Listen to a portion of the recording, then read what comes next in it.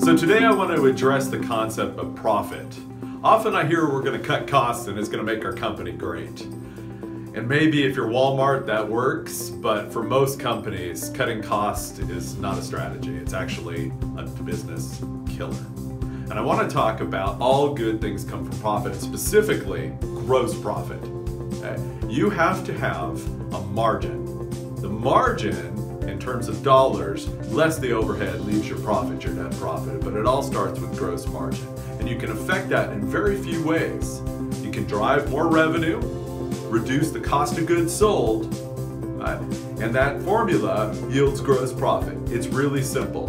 Raise prices, raise revenue, increase your sales, or decrease the cost to produce that piece of revenue. That's where you gotta focus. Don't focus on the overhead. I don't care what brand of paper you buy in your office. I don't care whether you use mechanical pencils or disposable pencils.